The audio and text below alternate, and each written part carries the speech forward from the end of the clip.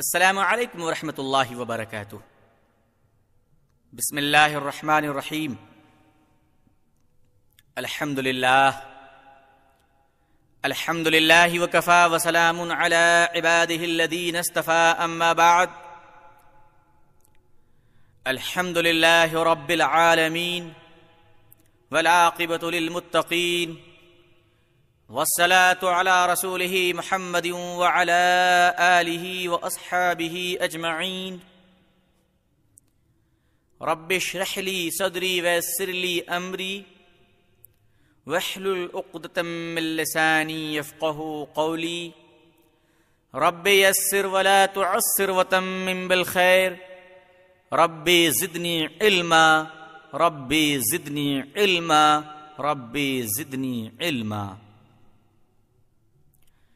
فأعوذ بالله من الشيطان الرجيم. إن الصلاة تنهى عن الفحشاء والمنكر. صدق الله العظيم. بزرگان محترم نوجوانان اسلام عزیزان گرامی سامعین عزام عمائدین شہر پردہ نشین خواتین امت اسلامیہ۔ نماز اللہ تعالیٰ کی ایک اہم ترین عبادت ہے۔ اور کسی بھی حالت میں یہ نماز معاف نہیں۔ انسان جب تک اچھے حالات میں ہے، اس پر نماز فرض ہے۔ یہ اللہ کا حکم ہے، یہ اللہ کا حق ہے اور یہ مومن کی معراج ہے۔ نماز سرور کائنات، سرکار دو عالم صلی اللہ علیہ وسلم کی آنکھوں کی ٹھنڈک ہے۔ نماز معاف نہیں، قیامت کے دن سب سے پہلا حساب نماز کا ہوگا۔ قبر میں نماز کی پکڑ ہوگی۔ کھڑے ہو کے نماز پڑھو، نہیں پڑھ سکتے ہو تو بیٹھ کے پڑھو۔ بیٹھ کر نہیں پڑھ سکتے تو لیٹ کر پڑھو۔ اگر وہ بھی ممکن نہ ہو تو اشارے سے پڑھو، مگر نماز پڑھو۔ نماز اللہ کو بہت پسند ہے۔ نماز کو نہ چھوڑو۔ تم نمازوں کی حفاظت کرو۔ اللہ تمہاری حفاظت کرے گا۔ تم نماز کے وقت کی حفاظت کرو۔ اللہ کے رسول صلی اللہ علیہ وسلم نماز کا احترام اس طرح نماز کا اہتمام اس طرح سے کیا کرتے تھے؟ کیا آقا تو جہاں صلی اللہ علیہ وسلم کا آخری وقت ہے؟ آپ دنیا سے رخصت ہو رہے ہیں۔ مالک حقیقی کی طرف، رفیق اعلی کی طرف جا رہے ہیں آپ۔ آپ سے ووٹ نہیں ہو رہا ہے، لیکن آپ پھر بھی رینگتے ہوئے دو صحابہ کے سہارے پر مسجد نبی میں تشریف لا رہے ہیں اور سر کو سجدے میں رکھتے ہیں اور فرماتے ہیں، نماز کی حفاظت کرو، نماز کی حفاظت کرو۔ جب آپ بار بار بے ہوش ہو رہے تھے، مسجد میں نہیں جا پا رہے تھے، صدیق اکبر سے آپ نے فرمایا کہ جاؤ، جا کر نماز پڑھواؤ۔ حضرت صدیق اکبر آ کر امت کی امامت فرماتے ہیں مسجد نبوی میں مسلمان حضرت صدیق اکبر کی امامت میں سجدے میں ہوتے ہیں۔ حضور صلی اللہ علیہ وسلم اپنے حجر مبارک کا پردے کو اٹھا کر دیکھتے ہیں کہ مسلمان سجدے میں ہے۔ اللہ کے نبی صلی اللہ علیہ وسلم چہرے انور کو آسمان کی طرف فرماتے ہیں اور کہتے ہیں کہ اے اللہ، تو گواہ رہنا، محمد اپنی امت کو سجدے میں چھوڑ کر جا رہا ہے۔ اللہ کے نبی صلی اللہ علیہ وسلم نے ہمیں نماز میں چھوڑا تھا۔ شراب خانوں میں نہیں چھوڑا تھا۔ جوئے خانوں میں نہیں چھوڑا تھا۔ اللہ کے نبی صلی اللہ علیہ وسلم نے ہمیں خدا کے سامنے سجدہ کرتے ہوئے چھوڑا تھا۔ خدا کے ولیوں کے سامنے سجدہ کرتے ہوئے نہیں چھوڑا تھا۔ ارے ولیوں کو تو سجدہ دور کی بات ہے۔ اللہ کے رسول نے اپنے سامنے سجدہ کو حرام قرار دیا۔ جب میرے رسول کے قدموں پہ سجدہ جائز نہیں، تو تیرے ننگے پیر کے قدموں میں سجدہ کس نے مائی ڈیئر جائز کر دیا؟ آپ کے ابا جان نے۔ اللہ کے نبی صلی اللہ علیہ وسلم نے خدا کے سامنے ہمیں سجدے کی حالت میں چھوڑا ہے۔ پتھروں کے سامنے نہیں، درختوں کے سامنے نہیں، ندی، دریا، سمندر کے سامنے نہیں، اونچے اونچے عمارتوں کے سامنے نہیں، آسمان اور زمین کے سامنے نہیں، سورج اور چاند کے سامنے نہیں۔ ہمارا سر جھکا ہے تو ایک خدا کے سامنے۔ جھکانے والے ہم ہیں، جھکانے والی ذات اللہ ہے۔ جھکنے والے ہم ہیں، قبول کرنے والی ذات اللہ ہے۔ نمازیں جب پڑھو، اس طرح سے پڑھو۔ کہ آپ کی زندگی کی آخری نماز ہے، آپ کو اللہ دیکھ رہا ہے، آپ اللہ کو دیکھ رہے ہیں۔ رمضان کے روزے اللہ نے زمین پر بھیجا۔ حضور صلی اللہ علیہ وسلم کے پاس وہی آئی اور جبریل علیہ السلاۃ والسلام روزے کا پیغام لے کر آئے کہ آپ کی امت پر تیس روزے فرض ہیں۔ حج فرض ہوا۔ حضور صلی اللہ علیہ وسلم زمین پہ بیٹھے ہوئے ہیں۔ جبرائیل علیہ السلاۃ والسلام پیغام لے کر آئے کہ آپ کی امت پر حج فرض ہوا۔ زکات فرض ہوا۔ حضرت جبرائیل علیہ السلاۃ والسلام پیغام لے کر آتے ہیں، حضور صلی اللہ علیہ وسلم کو بتاتے ہیں کہ آپ کی امت پر زکات فرض ہو گیا زکات ادا کرنے کے لیے کہیے۔ تمام احکام اللہ نے جبریل کے ذریعے سے بھیجا۔ لیکن جب نماز دینے کا وقت آتا ہے، جب امت پر نماز فرض کرنے کا وقت آتا ہے، جب امت اسلامیہ کو نماز تحفے میں دینے کا وقت آتا ہے، تو اللہ تعالیٰ فرماتے ہیں، یہ میرا بہت خاص تحفہ ہے، یہ میری بڑی خاص عبادت ہے۔ جبریل یہ میں تمہارے ہاتھوں نہیں بھیجوں گا، میرے رسول کو بلا کر لاؤ، میرا محبوب آ کر میرے پاس سے نماز کا تحفہ لے جائے گا۔ رمضان آ خود آتا ہے، حج خود آتا ہے زکات خود آتا ہے۔ لیکن جب نماز کے آنے کا وقت آتا ہے تو میرے رسول جاتے ہیں نماز کو لانے کے لیے۔ نماز کہتی ہے کہ مجھے تو میرے محبوب آ کر لے جائیں گے۔ اللہ تعالیٰ جبرائیل علیہ السلاۃ والسلام سے فرماتے ہیں، جاؤ اور میرے حضور، میرے رسول، میرے محبوب صلی اللہ علیہ وسلم کو بلا کر لے آؤ۔ میں اپنے محبوب سے بھی لوں گا اور محبوب کو تحفہ دوں گا۔ حضور صلی اللہ علیہ وسلم میراج پر تشریف لے جاتے ہیں۔ اللہ فرماتے ہیں، جائیے، آپ نے تو مجھ سے مل لیا۔ آپ کو تو معراج مل گیا۔ آپ کو تو مقام معراج پر فائز ہو گئے۔ لیکن میں آپ کے قدموں کے صدقے آپ کی امت کو کبھی محروم نہیں رکھوں گا۔ آپ کی امت کو بھی عطا کروں گا۔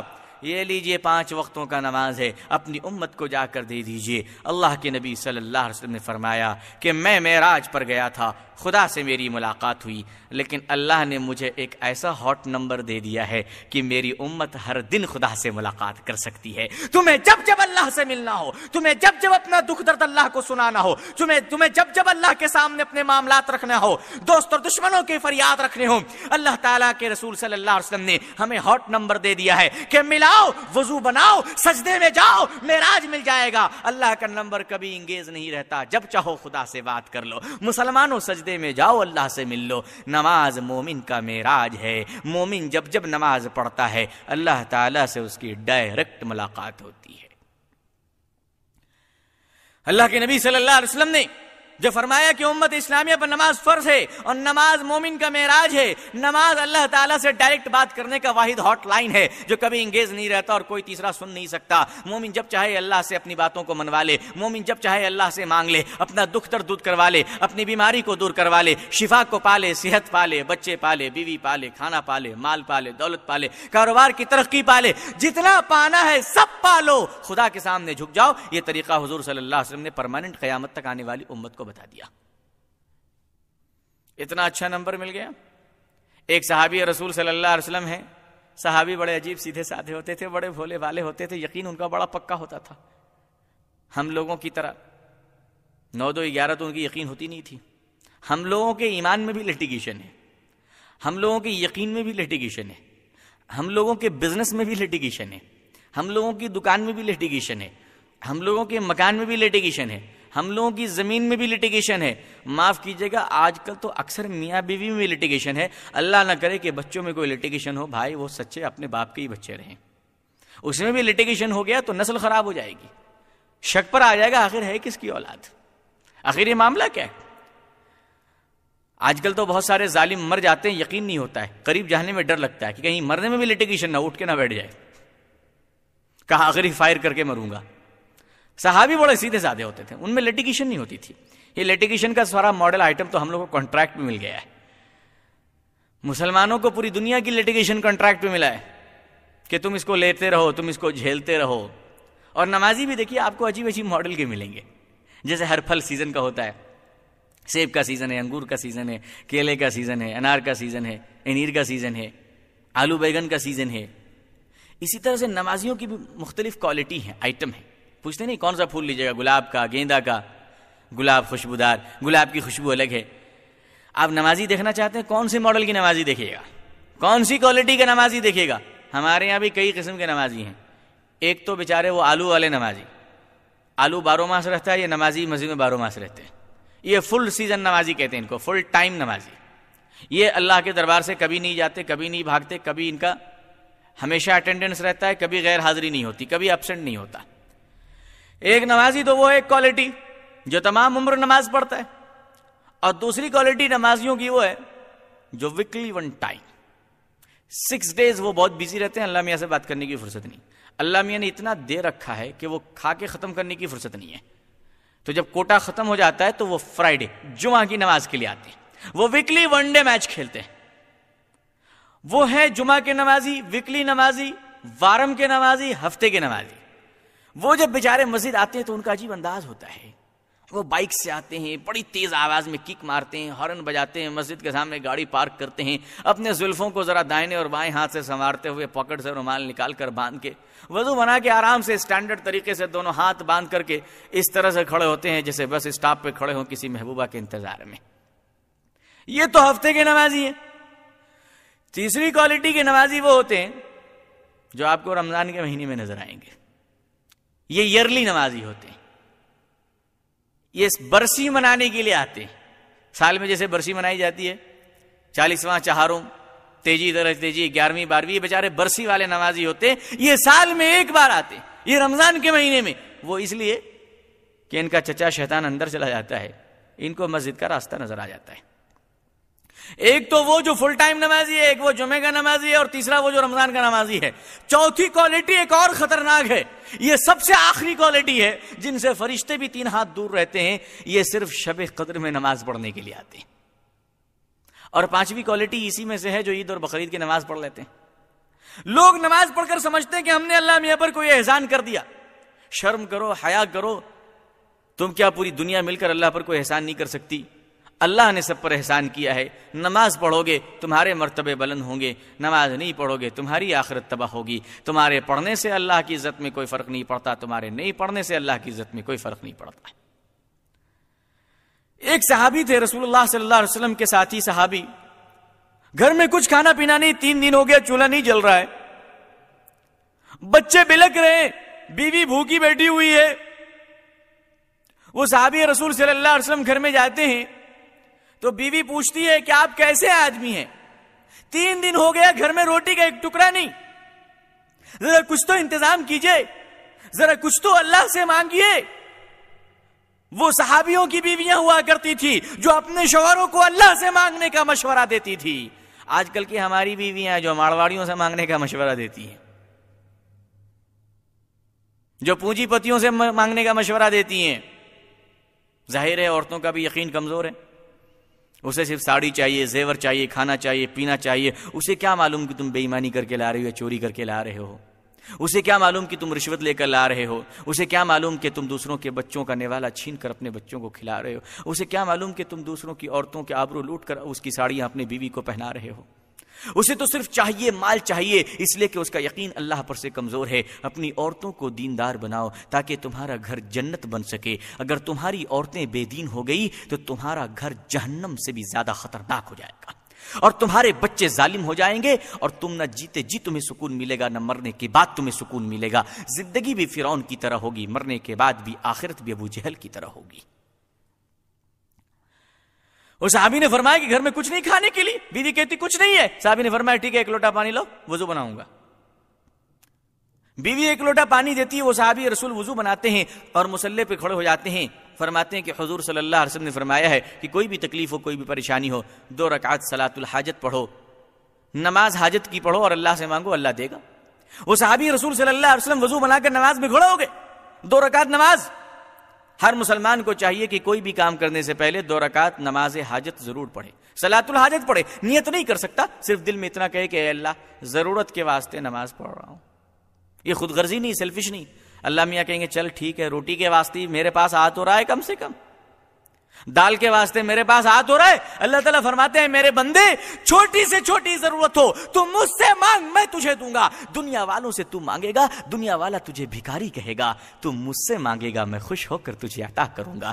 دنیا والے بار بار مانگنے سے ناراض ہوتے ہیں۔ اللہ فرماتے ہیں کہ تو مجھ سے بار بار مانگ، میں تیرے مانگنے سے خوش ہوتا ہوں۔ دو رکعت سلاۃ الحاجت پڑھو۔ وہ صحابی رسول کھڑے ہو گئے نماز میں۔ اور بڑے اہتمام کے ساتھ نماز پڑھی اور سلام پھیرا اور سلام پھیر کے بیوی سے پوچھتے کچھ ارینجمنٹ ہوا؟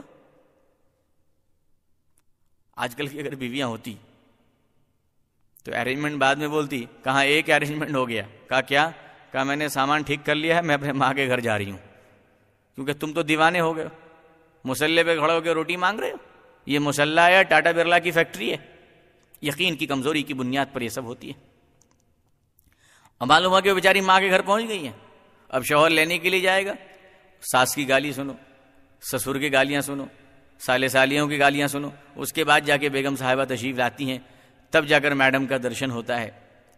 وہ صحابی رسول اپنی بیوی سے فرماتے، کچھ انتظام ہوا؟ بیوی کہتی، دیکھیے تو ابھی تک تو کچھ نہیں آیا۔ وہ صحابی فرماتے ہیں، میری نماز میں کوئی کمزوری ہوگی، کیونکہ حضور صلی اللہ علیہ وسلم کا وعدہ تو سب سے سچا وعدہ ہے۔ پھر دوبارہ نماز کے لیے کھڑا ہو گئے اور نماز پڑھی، سلام پھر کر پھر پوچھا، اپنی بیوی سے کچھ ارینجمنٹ ہوا؟ بیوی فرماتی جی ابھی تک تو کچھ نہیں ہوا۔ پھر آپ فرماتے ہیں، لگتا ہے میری نماز میں کوئی کمزوری رہ گئی۔ حضور صلی اللہ علیہ وسلم کا وعدہ تو سب سے سچا ہے، سب سے پکا ہے۔ اللہ کا وعدہ کبھی جھوٹا نہیں ہو سکتا۔ میری یقین میں کوئی کمزوری ہے، میری عبادت میں کوئی کمزوری ہے۔ میرے مانگنے کے ڈھنگ میں کوئی کمزوری ہے۔ مجھ میں سلیقہ نہیں مانگنے کا۔ بھائی اللہ کے سامنے ہاتھ اٹھا کر صحیح سے مانگ نہیں پا رہا ہوں۔ بڑے شرمندہ ہوئے، توبت اللہ کیا۔ اور تیسری بار نماز کی نیت باندھی۔ بڑے اہتمام سے نماز پڑھے۔ نماز پڑھتے پڑھتے پڑھتے۔ جب سجدے میں گئے، خدا سے خوب مانگا، سلام پھیر کر فرماتے ہیں، بیوی سے کچھ انتظام ہوا، بیوی فرماتی الحمد گھر کی چکی خود بخود چل رہی ہے۔ گھر کی چکی چل رہی اور آٹا نکل رہا ہے۔ صحابی کے رسول رسول اللہ صلی اللہ علیہ وسلم کے صحابی نے حضور کی سنت پر چل کر خدا سے مانگا تو گھر کی چکی چلنے لگی۔ لوگوں نے پوچھا آٹا کہاں سے آ رہا ہے؟ ساری دنیا کہے گی، اللہ کی قدرت سے آ رہا ہے۔ آج کا مسلمان حضور صلی اللہ علیہ وسلم کی سنت پر چلتا ہوا جب اللہ کے راستے میں جاتا ہے، تو دشمن کہتے ہیں، اس کے گھر کے مال امریکہ سے آ رہا ہے۔ اس کے گھر کی روزی روٹی امریکہ والا جلا رہا ہے۔ یہ جماعت میں جب مسلمان جا رہا ہے، تو اس کو پیسہ امریکہ سے آ رہا ہے۔ ارے حضور صلی اللہ علیہ وسلم کی غلامی پر چلنے والا امریکہ کے ڈالر پر نہیں چلا کرتا، خدا کے کرم پر چلا کرتا ہے۔ صحابی رسول کو بھی خدا دیتا تھا، حضور کی غلام اور امت کو بھی خدا ہی دے گا۔ امریکہ تمہارا چچا ہو سکتا ہے، ہمارا تو کوئی نہیں ہے۔ اس صحابی رسول صلی اللہ علیہ وسلم نماز سے اٹھے، مسلح اٹھایا، جلدی سے آٹا سمیٹتا ہے، اب نماز ہو گئی۔ خدا کی قدرت کی طرف سے آٹے آ رہے ہیں، نماز کی برکت تھی، پورا گھر بھر لیا، پورا برتن بھر لیا۔ کچھ باقی نہیں رہا، سب بھر لیا۔ پانی کا بالٹی تھا، پانی پھینک دیا، بالٹی میں ڈال لیا گیا پانی تو دوبارہ بھی مل جائے گا آٹا پہلے بھر لو۔ پورا فل ہو گیا۔ جب آدمی کا پیٹ بھر جاتا ہے تو اسے نئی نئی چیز نظر آتی ہے۔ گھر کے پورے برتن بھر گئے۔ اب صحابی رسول فرماتے ہیں صلی اللہ علیہ وسلم کہ آخر آٹا کدھر سے آ رہا ذرا میں بھی تو دیکھوں چکی اٹھایا آٹا بند۔ صحابی رسول صلی اللہ علیہ وسلم نے جا کر حضور صلی اللہ علیہ وسلم سے یہ واقعات بیان کیے۔ کہ ایسا ایسا واقعہ پیش آیا۔ ایسی سی باتیں پیش آئی میں نے نماز پڑھی سلاۃ الحاجت پڑھی اور دعائیں مانگی۔ اللہ نے ہمارے گھر کی چکی کو چلانا شروع کر دیا اور اس میں سے آٹا آنا شروع کر دیا۔ میں نے پورے گھر کے برتن کو بھر لیا اور بعد میں جب اٹھا کر دیکھا کہ آٹا کہاں سے آ رہا ہے تو آنا بند ہو گیا۔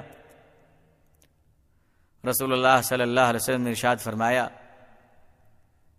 کہ اگر تم اس چکی کو اٹھا کر نہ دیکھتے تو قیامت تک آٹا آتا رہتا اور میری امت کو یہ آٹا ملتا رہتا۔ یہ دیکھنے کی وجہ سے بند ہو گیا۔ یہ نماز کی برکت ہے، یہ نماز کی تاثیر ہے، یہ نماز کی خاصیت ہے۔ قرآن نے کہا کہ بے شک نماز روک لیتی ہے، برائیوں سے، بے حیائیوں سے دغا سے، بے ایمانیوں سے، ہر قسم کے جرائم سے تمہیں نماز روک لے گی۔ تم نماز کو ٹھیک سے پڑھو، نماز تمہارا ہاتھ پکڑ کے تم کو برائیوں سے روک لے گی۔ یہ قرآن کہہ رہا ہے۔ اور ایمان کی بات ہے کہ جو نمازی ہوگا وہ بے ایمان نہیں ہوگا۔ جو نمازی ہوگا وہ چور نہیں ہوگا۔ جو نمازی ہوگا وہ جھوٹا نہیں ہوگا۔ جو نمازی ہوگا وہ لفنگا نہیں ہوگا۔ جو نمازی ہوگا وہ آوارہ نہیں ہوگا۔ جو نمازی ہوگا وہ قاتل نہیں ہوگا۔ جو نمازی ہوگا وہ جھوٹا نہیں ہوگا، جو نمازی ہوگا وہ سود خور نہیں ہوگا، جو نمازی ہوگا وہ چیٹی کھیلنے والا نہیں ہوگا، جو نمازی ہوگا وہ دوسروں کا مال دبانے والا نہیں ہوگا، جو نمازی ہوگا وہ دوسروں کا برا چاہنے والا نہیں ہوگا۔ اس لیے کہ ان سلاط تنہا انل فیشائی والمنکر، بے شک نماز روک لیتی ہے تمام برائیوں سے، تمام بے حیائیوں سے۔ قرآن کہہ رہا ہے کہ نماز روک لیتی ہے برائیوں سے۔ قرآن کہہ رہا ہے نماز روک لیتی ہے بے حیائیوں سے۔ آخر کیا بات ہے؟ قرآن کی بات تو بالکل سچی ہے، اللہ کا وعدہ تو بالکل سچا ہے۔ حضور صلی اللہ علیہ وسلم کا اشارہ تو بالکل سچا ہے۔ جب نماز برائیوں سے روک لیتی ہے، تو نماز پڑھنے والا بے ایمان کیوں ہے؟ جب نماز برائیوں سے روک لیتی ہے، تو نماز پڑھنے والا دغاباز کیوں ہے؟ جب نماز برائیوں سے روک لیتی ہے، تو نماز پڑھنے والا جھوٹا کیوں ہے؟ جب نماز برائیوں سے روک لیتی ہے، تو نماز پڑھنے والا چور کیوں ہے؟ جب نماز برائیوں سے روک لیتی ہے، تو نماز پڑھنے والا مسجد کا صدر بن کر مسجد کا مال کیوں کھا رہا ہے؟ جب نماز برائیوں سے روک لیتی ہے، تو نماز پڑھنے والا مدرسوں کا مال کیوں لوٹ رہا ہے؟ جب نماز برائیوں سے روک لیتی ہے، تو نمازی یتیموں کا مال کیوں کھا رہا ہے؟ جب نماز برائیوں سے روک لیتی ہے، تو نمازی دوسروں کی زمین کیوں ہڑپ رہا ہے؟ آخر سوچنا تو پڑے گا کہ بلیک میلنگ کہاں ہو رہی ہے؟ آخر دیکھنا تو پڑے گا کہ گڑبڑی کہاں پہ ہو رہی ہے؟ آخر دیکھنا تو پڑے گا کہ ملاوٹ کہاں ہو رہا ہے؟ اصلی گھی میں تو گھی کی خوشبو آنی چاہیے۔ گھی جب تک اصلی ہے اصلی ہے۔ اس میں ڈالٹا ملا دو گے وہ اصلی نہیں ہوگا۔ اس کی تاثیر بدل جائے گی، اس کا فائدہ بدل جائے گا، اس کے مقاصد بدل جائیں گے، اس کی منزل بدل جائے گی۔ حضور صلی اللہ علیہ وسلم کے فرمان کو اگر تم نے پورے طور پہ پکڑا ہے، تو خدا کی قسم تمہاری نمازیں تم کو برائیوں سے روک لے گی۔ لیکن بے ایمانو، تم نے تو یہاں بھی ملاوٹ کر دی۔ تم نے گھی میں ڈالٹا ملایا، تم نے تیل میں تیل ملایا، تم نے چاول میں کنکر ملایا۔ تم نے ہر چیز میں ملاوٹ کی، دودھ میں پانی ملایا۔ تم نے اسلام میں بھی ملاوٹ کر دی، تم نے نماز میں بھی ملاوٹ کر دی، تم نے سرور کائنات صلی اللہ علیہ وسلم کی سنت میں بھی ملاوٹ کر دی۔ آج ملاوٹ صاف نظر آ رہا ہے؟ ملاوٹ کے کیڑے اوپر سے چل رہے ہیں؟ ملاوٹ کے سڑان کی بدبو ناک کے پردوں کو پھاڑتی ہوئی چلی جا رہی ہے؟ ملاوٹ کی لانتیں نحوستیں ہمارے گھر کے ہر آدمی کی شکل پہ نظر آ رہی ہے؟ نمازی ہے مگر چہرے پہ نور نہیں ہے، نمازی ہے مگر چہرے پہ رونق نہیں ہے، نمازی کے چہرے کو دیکھیے تو ڈر لگتا ہے، خوف لگتا ہے کہ اللہ کیسا نمازی ہے۔ نمازی تو وہ ہو کہ جس کے چہرے کو دیکھو تو خدا یاد آ جائے، جس کے چہرے کو صبح میں دیکھ لو تو دن بھر اچھا ہو جائے، مگر آج کے نمازی کو دیکھ کے نکلے تو پورا دن ہی خراب ہو جاتا ہے۔ اس نے دن کو خراب کیا، اس نے نماز کو خراب کیا، اس نے قرآن کو خراب کیا، اس نے فرمان کو خراب کیا، اس نے سنت کو خراب کیا، خدا نے اس کے چہرے کو خراب کر دیا۔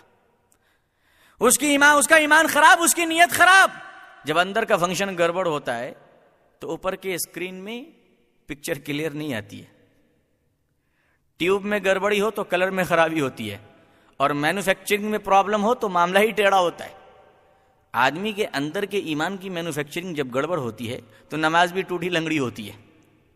اور لنگڑی لولی نماز کو لے کر، ٹوٹی ہوئی سائیکل میں بیٹھ کر، چلتے ہوئے ہوائی جہاز کا تم مقابلہ نہیں کر سکتے۔ ارے وہ تو بہت دور کی بات ہے، ٹوٹی ہوئی سائیکل میں بیٹھ کر تم چلتے ہوئے سائیکل کا مقابلہ نہیں کر سکتے۔ اب جب ہم لوگ ایک طرف قرآن کے فرمان کو دیکھتے ہیں اور نمازی کی شکل و صورت کو دیکھتے ہیں، تو دونوں ہی بڑا فرق نظر آتا ہے۔ ایک زمین کی پستی نظر آتی ہے اور دوسرا ہمالیہ کا بلند چوٹی نظر آتا ہے۔ قرآن کہتا ہے، نماز پڑھنے والا بے حیا نہیں ہو سکتا، نماز پڑھنے والا بے شرم نہیں ہو سکتا۔ نماز پڑھنے والا مجرم نہیں ہو سکتا، نماز پڑھنے والا کرمنل نہیں ہو سکتا۔ لیکن آج جو ہم دیکھ رہے ہیں کہ نمازیوں میں ایسی سی برائیاں ہیں کہ اللہ کی بنا نماز پڑھ رہا ہے مگر برائی پر برائی ہے، لمبی داڑھی ہے مگر برائی پر برائی کر رہا ہے۔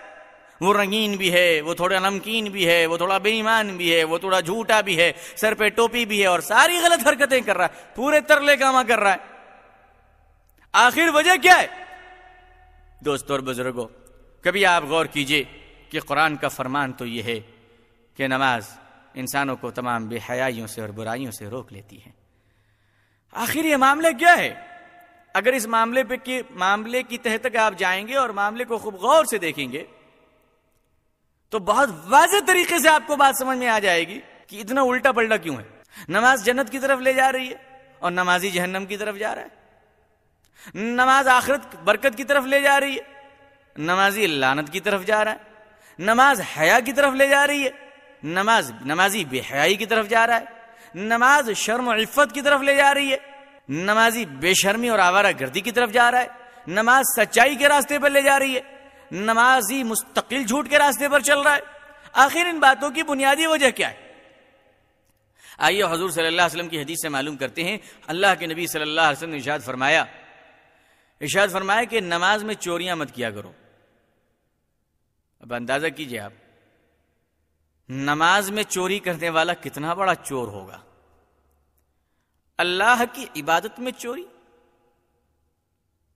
اللہ کے حق میں چوری؟ مکان میں چوری، دکان میں چوری، بینک میں چوری؟ اللہ کی عبادت میں چوری؟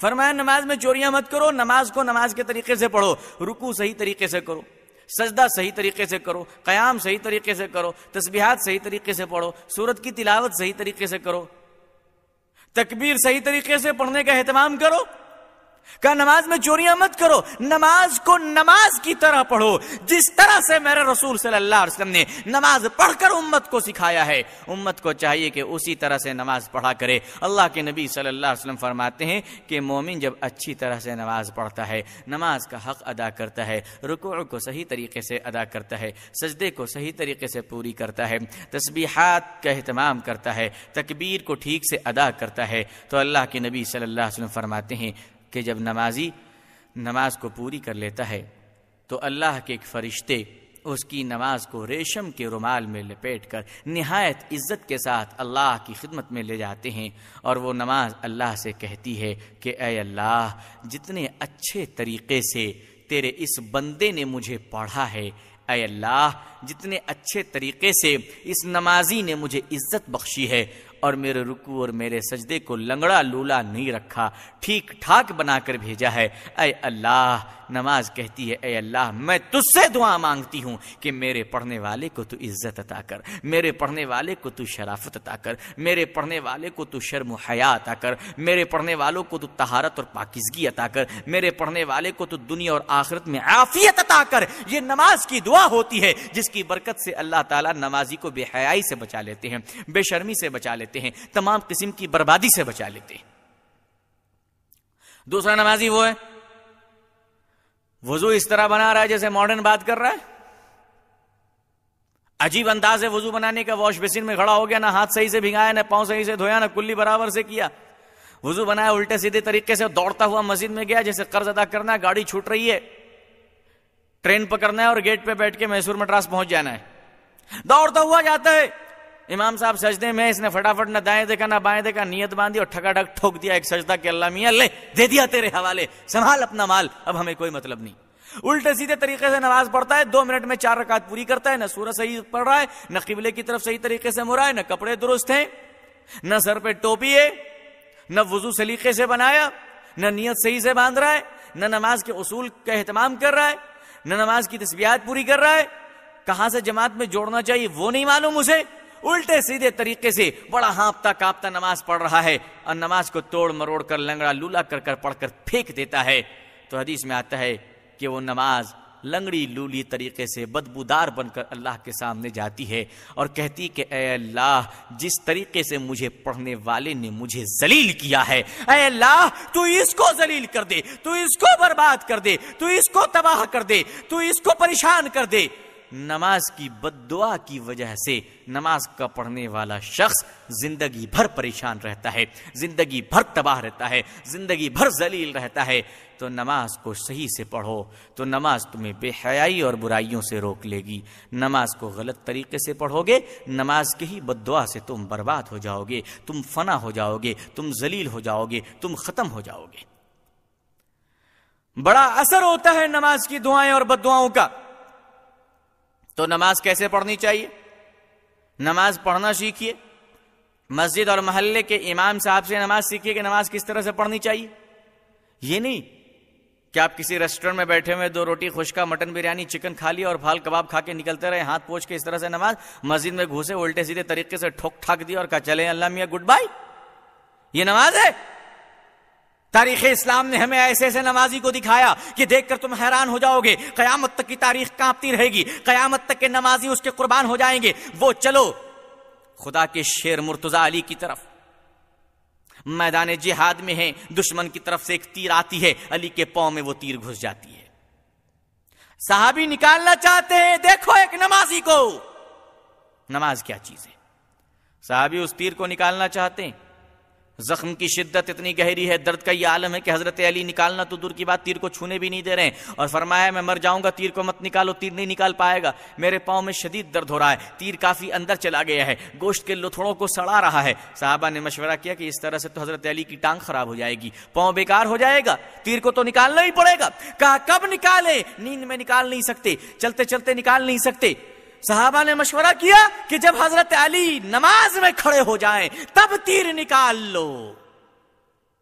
ہے کسی ماں کے لال کی ضرورت نماز میں حضرت علی کھڑے ہوئے تو تیر نکال لو۔ ہم لوگ تو نماز میں کھڑے ہوتے ہیں تو سب حساب کتاب آرام سے کرتے ہیں۔ بیوی کو کیا دیا، بچے کو کیا دیا؟ دوست کیا لیا، دشمن کون لیا؟ نماز میں کھڑے ہو کر ہم لوگ جتنا گھر کا صحیح حساب کتاب کرتے ہیں، کبھی نہیں کر سکتے۔ یہ تو ہم لوگوں کی نماز ہے۔ صحابہ نے مشورہ کیا کہ حضرت علی جب نماز میں کھڑو ہو جائے تو تیر نکال لو۔ کہا، ٹھیک ہے۔ حضرت علی کرم اللہ وجہ رضی اللہ تعالیٰ عنہ نے جیسے نیت باندھی، صحابہ کرام آئے اور تیر کو کھینچ کر نکال لیا۔ حضرت علی کے پاؤں میں جنبش تک نہیں ہوئی، علی ہلے تک نہیں۔ صحابہ حیرانی سے دیکھ رہے ہیں کہ اللہ اللہ، علی کیسی نماز پڑھتے ہیں کہ اتنا گہرا اور درد دینے والے تیر کو ہم نے کھینچ کر نکال لیا۔ علی کا پاؤں تک نہیں ہلا۔ حیرانی سے سب لوگ دیکھ رہے تھے۔ حضرت علی نے نماز پوری کر لی اور نماز پڑھ کر دیکھ رہے ہیں کہ بہت صحابہ کرام بیٹھے ہوئے ہیں۔ تو فوراً اپنے پاؤں کو پکڑ کے کہتے ہیں اچھا تو تم لوگ تیر نکالنے آئے ہو۔ میں نکالنے نہیں دوں گا۔ اتنا کہے کہ صحابی کہنے لگے، علی، تم پر اللہ رحم کرے۔ تیر تو نکالا جا چکا اور تمہیں کچھ خبر بھی نہیں ہے۔ کیسی نماز ہوتی تھی حضرت علی کرم اللہ وجہ رضی اللہ تعالیٰ تیر نکل گیا۔ حضرت علی کو خبر نہیں۔ آج ہم لوگوں کی نماز گھر سے چلے کوئی فکر نہیں۔ بازار میں دوست احباب ملے، کوئی فکر نہیں۔ مسجد کے دروازے پہ آئے، کوئی فکر نہیں۔ وضو بنایا، کوئی فکر نہیں۔ جیسے امام نے کہا، اللہ اکبر! کپڑے کی دکان کا حساب آنا شروع ہو گیا۔ الیکشن کا پورا خرچہ حساب کتاب سامنے آنا شروع ہو گیا۔ بیوی کا ڈیمانڈ نظر آنے لگا، بچے کا چاکلیٹ یاد آنے لگا۔ بیوی کی ساڑی یاد آنے لگی۔ گھر کا دروازہ یاد آنے لگا، کنسٹرکشن یاد آنے لگا، انجینئر کا پیسہ یاد آنے لگا۔ کانٹریکٹر کا کمیشن یاد آنے لگا۔ بروکری کے سارے کمیشن یاد آنے لگے۔ کہاں کہاں بے ایمانی کے دھندے چھپے ہوئے سب یاد آنے لگے۔ یہ عالم ہوتا ہے، کچھ خبر نہیں ہوتی کتنی رکعت امام نے پڑھائی ہے۔ بس امام کے پیچھے چل رہے ہیں، کولو کی بیل کی طرح۔ امام نے کہا، جھک تو جھکا، اٹھ تو اٹھا۔ مختدی کو کچھ نہیں معلوم کتنی رکعت ہوئی۔ اس طرح سے نماز میں کھڑے ہوئے ہیں۔ نیت باندھ رہے ہیں، کھڑے ہو کے ہل رہے ہیں۔ سر کھجلا رہے ہیں، ناک کے اندر انگلی ہے۔ منہ میں جمائی آہ کر رہے ہیں۔ نماز میں سکون بھی نہیں، چین بھی نہیں، اطمینان بھی نہیں۔ ایک ایسی نماز ہو رہی تھی۔ اثر کی نماز غالباً ہو رہی تھی اور آپ جانتے ہیں اثر کی نماز میں چار رکعت پڑھی جاتی ہے۔ نماز ہو گئی تو مختدیوں میں ہنگامہ ہو گیا۔ ففٹی پرسینٹ نے کہا امام صاحب نے دو رکعت پڑھی ہے۔ اور ففٹی پرسینٹ نے کہا امام صاحب نے چار رکعت پڑھی ہے۔ اب دونوں میں جھگڑا ہو گیا، بتائے کون کہ امام صاحب نے کتنی رکعت پڑھی ہے؟ اسی دیکھا کہ نمازیوں کے بیچ میں ایک صاحب سے بڑے بزرگ، سفید داڑھی، لمبی داڑھی، ہاتھ میں تسبیح، چہرہ ایک دم نورانی، پکے نمازی حاجی صاحب۔ لوگوں نے پکڑ کے کہا کہ حاجی صاحب سے پوچھو، امام صاحب نے کتنی رکعت نماز پڑھائی ہے؟ کیونکہ حاجی صاحب دیندار بزرگ آدمی ہے یہ صحیح بتا سکتے ہیں کہ دو رکعت پڑھی گئی ہے یا چار رکعت پڑھی گئی ہے۔ تمام مختدیوں نے مل کر حاجی صاحب کو پکڑا کہ حاجی صاحب، اللہ پر رحم کرے، ہمارے مسائل کو حل کر دیجیے ہمارا جھگڑا ختم کر دیجیے فتنے کو ناپید کر دیجیے یہ بتائیے امام صاحب نے کتنی رکعت نماز پڑھائی ہے؟ حاجی صاحب نے کہا الحمد میں چالیس سال سے نماز پڑھ رہا ہوں۔ میں یقین اور اطمینان کے ساتھ، نہایت ذمہ داری کے ساتھ ایمان کی قسم کھا کر یہ کہتا ہوں کہ آج ہمارے امام صاحب نے اثر کی نماز صرف دو ہی رکعت پڑھائی ہے۔ لوگوں نے کہا ہے، اتنا کانفیڈنس اتنا اعتماد، اتنا یقین حاجی صاحب، کیا آپ لیپ ٹاپ لے کر کھڑے ہوئے تھے نماز میں؟ کہ کمپیوٹر کے اسکرین پہ بتا دیا گیا، اتنا یقین کیسے ہو گیا لوگوں نے پوچھا، حاجی صاحب، اتنے اعتماد سے آپ کیسے کہہ سکتے ہیں؟ حاجی صاحب نے کہا، بھائی، میں بڑی بات نہیں کرتا۔ اللہ نے مجھے بہت نوازا ہے۔ اللہ نے مجھے چار چار دکانیں عطا کی ہے۔ اور روزانہ میں چاروں دکان کی حساب اثر کی نماز میں ہی کرتا ہوں۔ پہلی رکعت میں پہلی دکان کا حساب، دوسری رکعت میں دوسری دکان کا حساب، تیسری رکعت میں تیسری دکان کا حساب، چوتھی رکعت میں چوتھی دکان کا حساب۔ ہر دن حساب کمپلیٹ کرتا تھا۔ آج دو ہی دکان کا حساب کمپلیٹ کیا تھا، امام صاحب نے سلام پھیر دیا۔ اس سے بڑا پروف اور کیا دوں بھائی؟ اس سے بڑا ثبوت اور کیا دوں؟ جب یہ بہت بڑے بڑے لوگوں کا یہ حال ہے تو عام نوجوانوں کا کیا حال ہوگا؟ نماز میں دکانوں کا حساب، نماز میں مکان کا حساب، چار رکعت نماز ہو گئی، خبر نہیں نماز کہاں تک پہنچی۔ دکان کا حساب کمپلیٹ نہیں ہوا تھا، اندازہ کر لیا کہ میری نماز کمپلیٹ نہیں ہوئی۔ دوستوں اور بزرگوں جب نماز کو اس طرح سے پڑھو گے تو اللہ تمہیں کیسے عزت عطا فرمائے گا؟ ستائیس الحجہ حضرت عمر فاروق رضی اللہ تعالیٰ عنہ فجر کی نماز پڑھانے کے لیے امامت کے لیے تشریف لائے مسجد نبوی میں۔ آپ نماز پڑھا رہے ہیں، ایک دشمن دین، دشمن رسول، دشمن خدا، حضرت عمر کا جانی دشمن، حضرت عمر کو قتل کرنے کی نیت سے چھرا کو چھپا کر آستین میں فجر کی نماز میں پچھلی صف میں کھڑا، پہلی صف میں کھڑا ہے۔ حضرت عمر کے بالکل پیچھے کھڑا ہوا ہے۔ حضرت عمر نے صفیں سیدھی فرمائی، تکبیر مؤذن نے کہہ دی۔ حضرت عمر نے فجر کی نماز کی امامت شروع کی، فرمایا، اللہ اکبر۔ جیسے اللہ اکبر کہا، صحابہ کرام نے نیت باندھ لی۔ اب جب صحابہ نیت باندھ لیتے تھے، تو سوائے خدا کے ان کو کچھ بھی نظر نہیں آتا تھا۔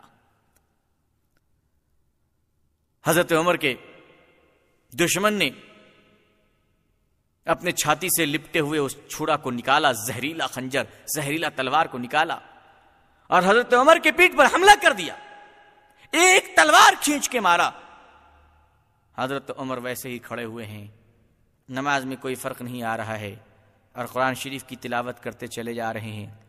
وہ دشمن چھرا پر چھرا مار رہا ہے۔ وہ دشمن چاقو پر چاقو مار رہا ہے۔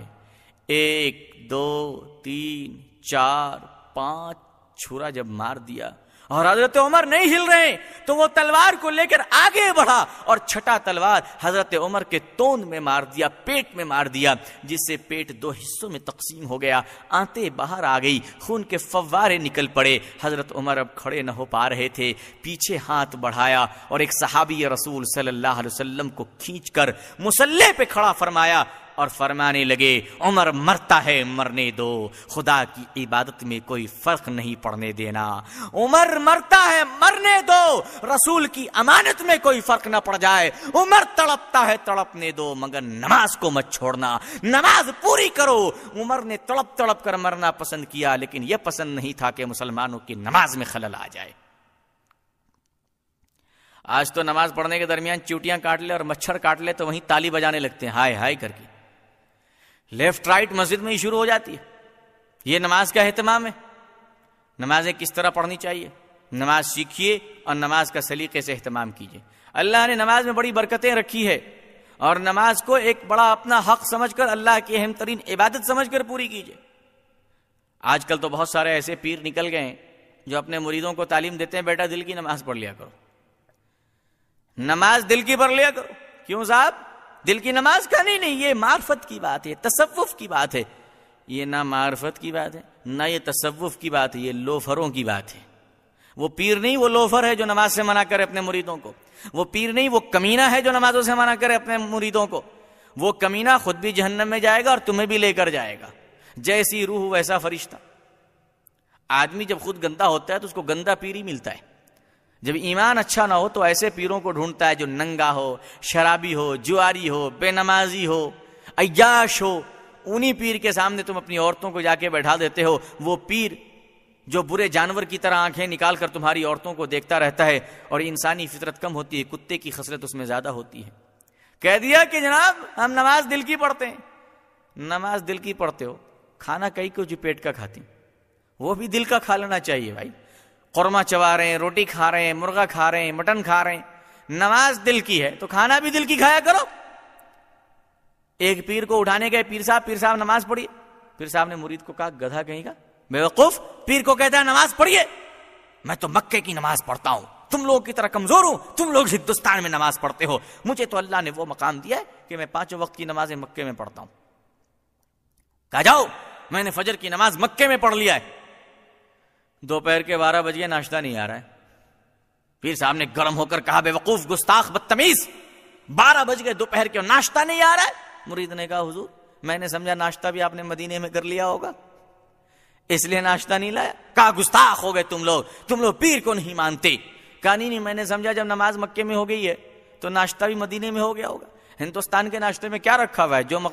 جو مزہ، جو لذت، جو برکتیں مدینے کے ناشتے میں ہیں۔ جب نماز مکے میں ہو رہی تو ناشتہ ہی مدینے میں کر لیا کیجیے۔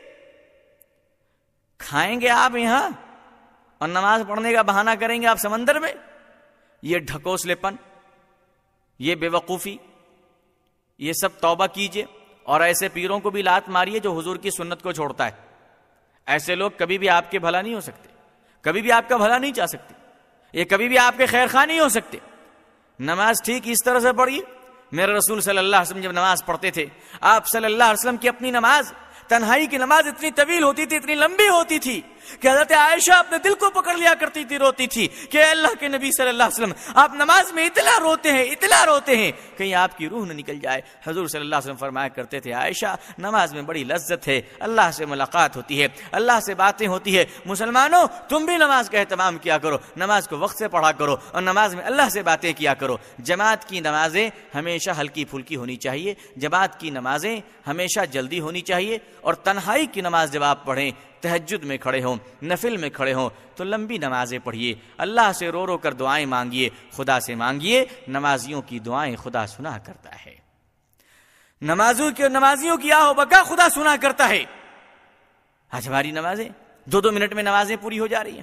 کوئی اہتمام نہیں۔ وضو کا طریقہ معلوم نہیں ہے، نماز کی نیت معلوم نہیں ہے، جمعے کی فضیلت معلوم نہیں ہے، فجر کے نظام معلوم نہیں ہے، ظہر کے مسائل نہیں معلوم ہے اثر کے فضائل نہیں معلوم، عشاء اور مغرب کے فضائل نہیں معلوم۔ ہم مسلمان ہیں، آخر کیسے مسلمان ہیں؟ تمہارا بیٹا اگر کوئی جرم کر دے، تم اس جرم سے بچنے کے لیے سو بار وکیلوں کے دربار میں دوڑتے ہو کہ وکیل صاحب، اس دفعہ میں اور اس ایف آئی آر میں اور اس قانون سے میرے بیٹے کو بچانے کا کیا طریقہ ہے؟ وکیل صاحب تم سے ہزاروں روپے لیتا ہے۔ دنیاوی قانون کا ایک مشورہ دینے کے لیے وکیل صاحب تمہارے زمین اور جائیداد کے کاغذیں رکھوا لیتا ہے۔ ایک دنیاوی مسائل کو حل کرنے کے لیے تم معمولی دنیا کے چند مسائل کو حل کرنے کے لیے وکیلوں کی غلامی کرتے ہو، وکیلوں کو نوٹوں کا خزانہ پیش کرتے ہو، وکیلوں کے قدموں میں زمین جائیداد کے کاغذ رکھ دیتے ہو۔ ارے مسلمانوں، تجھے کیا ہو گیا ہے؟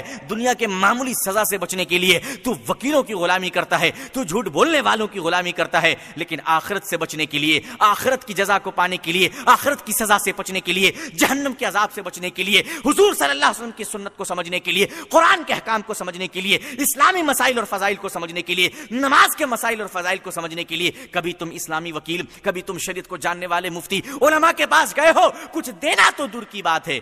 کیا جا کر تم بیٹھ کر پوچھے ہو کہ حضور بتائیے کہ اسلامی مسائل کیا ہے؟ دنیاوی نقطۂ نظر سے تم لاکھوں روپے وکیل کو دیتے ہو۔ مفت میں بھی تم عالم کے پاس بیٹھ کر اسلام کو سیکھنے کی کوشش نہیں کرتے ہو۔ یہ بدقسمتی نہیں تو اور کیا ہے؟ یہ نامرادی نہیں تو اور کیا ہے؟ بزرگان محترم، صحابہ کرام کو اللہ کی نبی صلی اللہ علیہ وسلم نے ایسی نمازیں سکھائی تھی جب وہ نماز میں کھڑے ہوتے تھے، آنکھیں بھیگ جایا کرتی تھی، داڑیاں تر ہو جایا کرتی تھی، روتے تھے، کپ کپاتے تھے اللہ کے سامنے۔ ڈر اور خوف سے حالت یہ ہوتی تھی کہ جیسے یہ نماز آخری نماز ہے، جب سجدے میں جاتے تھے تو تڑپ کر کہتے تھے اللہ پتا نہیں کہ دوسرا سجدہ کر پاؤں گا کہ نہیں کر پاؤں گا۔ موت کا فرشتہ کھڑا ہو اور لے لے زندگی۔ ہم کیا کریں گے؟ وہ اتنا تڑپتے تھے سجدے میں اللہ کے سامنے جا کر۔ وہ ہر مصیبت میں ان کو نماز یاد آتی تھی، ہر تکلیف میں ان کو نماز یاد آتی آتی تھی۔ ہر خوشی میں ان کو نماز یاد آتی تھی۔ ہر غم میں ان کو نماز یاد آتا تھا۔ ہر راحت میں ان کو نماز یاد آتی تھی۔ مسلمانوں، آج ہمیں شادیوں میں گانا بجانا یاد آتا ہے۔ کوئی مر جائے تو وہاں بھی رسم و رواج بانٹنا یاد آتا ہے۔ تم نے ہر جگہ نماز کو چھوڑا۔ حج میں جانے کی خوشی میں نماز کو چھوڑا۔ عید بقرعید میں نماز کو چھوڑا۔ جمعے میں نماز کو چھوڑا۔ رمضان میں نماز کو چھوڑا۔ یاد رکھو کہ نماز ایک بہت بڑی عبادت ہے، تم اس کی حفاظت کرو، اللہ تمہاری حفاظت کرے گا۔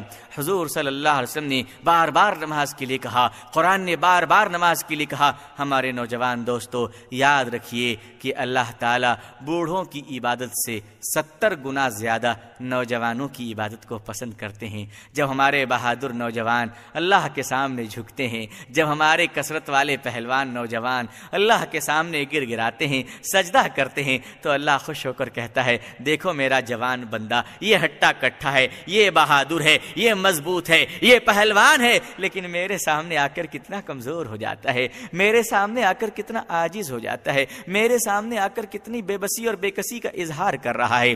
یہ میرا بندہ ہے جو ساری دنیا اس سے ڈرتی ہے، ساری دنیا اس سے کانپتی ہے۔ جب یہ بیٹھتا ہے تو دنیا کھڑی ہو جاتی ہے۔ جب یہ کھڑا ہوتا ہے تو کسی میں بیٹھنے کی ضرورت نہیں ہوتی ہے۔ جب یہ چلتا ہے تو ساری دنیا اس کو سلام کرتی ہے۔ کوئی اس کو صدر کہہ کر پکارتا ہے کوئی اس کو پروفیسر کہہ کر پکارتا ہے کوئی اس کو وکیل کہہ کر پکارتا ہے کوئی اس کو ڈاکٹر کہہ کر پکارتا ہے کوئی اس کو انجینئر کہہ کر پکارتا ہے کوئی اس کو کمشنر کہہ کر پکارتا ہے کوئی اس کو وزیر کہہ کر پکارتا ہے ساری دنیا اسے عزت کے ساتھ پکارتی ہے ساری دنیا اس کے سامنے ہاتھ باندھے کھڑی رہتی ہے کوئی اس کے آگے نہیں چل سکتا کوئی اس سے پہلے نہیں بیٹھ سکتا کوئی اس سے پہلے کھانا شروع نہیں کر سکتا کوئی اس کی اجازت لیے بغیر کچھ بول نہیں سکتا لیکن میرا اتنا پاورفل بندہ میرا اتنا پاورفل اور مضبوط بندہ اللہ فرماتے ہیں کہ یہ بندہ دیکھو، وضو بنا کر جب مسجد میں آیا ہے تو غریبوں کے ساتھ صفوں میں کھڑا ہوا ہے۔ اپنے نوکر کے ساتھ نماز میں کھڑا ہوا ہے، بغل میں نوکر کھڑا ہے، آفس میں نوکر بغل میں نہیں کھڑا ہو سکتا، گھر میں نوکر بغل میں کھڑا نہیں ہو سکتا، نوکر کی سیٹ الگ ہوتی ہے، مالک کی سیٹ الگ ہوتی ہے، نوکر کے بیٹھنے کا ٹیبل الگ ہوتا ہے، مالک کی کرسی الگ ہوتی ہے، وزیر کی کرسیاں الگ ہے نوکر اور چپراسی باہر بیٹھتا ہے، لیکن خدا کے گھر میں جب پہنچ گئے تو ایک ہی صف میں کھڑے ہو گئے، محمود و ایاز نہ رہا کوئی بندہ نہ کوئی بندہ نواز، وہاں کھڑے ہو گئے، نوکر اور مالک ایک ہی صف میں کھڑے ہو گئے، وزیر کھڑا ہے، وزیر کا نوکر کھڑا کھڑا ہے۔ وزیر کی جرت نہیں ہے، خان صاحب کی طاقت نہیں ہے۔ وکیل اور پروفیسر نے اتنا ماں کا دودھ نہیں پیا ہے کہ اپنے نوکر کا گردن پکڑ کر کہ چل پیچھے ہٹ، پیچھے کھڑا ہو۔ نہیں نہیں، وکیل صاحب، یہ وکالت تمہاری عدالت میں چلے گی۔ یہ دربار خدا کا دربار ہے۔ یہاں کوئی غریب، کوئی امیر نہیں۔ یہاں کوئی مالک، کوئی نوکر نہیں۔ یہاں تکبر ٹوٹ جایا کرتا ہے۔ یہاں گھمنڈ برباد ہو جایا کرتے ہیں۔ یہاں انسانیت کی بے بسی ظاہر ہوتی ہے۔ یہاں انسان اللہ کا غلام ہوتا ہے۔ انسان انسان کا غلام نہیں، بلکہ اللہ کا غلام ہوتا ہے۔ اللہ تعالیٰ پوری امت کو نماز قائم کرنے کی توفیق عطا فرمائے۔ اللہ تعالیٰ ہمیں نمازی بنائے ہماری نمازوں کو قبول فرمائے۔ اللہ تعالیٰ ہم سب کے دلوں میں اپنی محبت اور اپنا خوف عطا فرمائے۔ حضور صلی اللہ علیہ وسلم کی سچی محبت اور عظمت نصیب فرمائے۔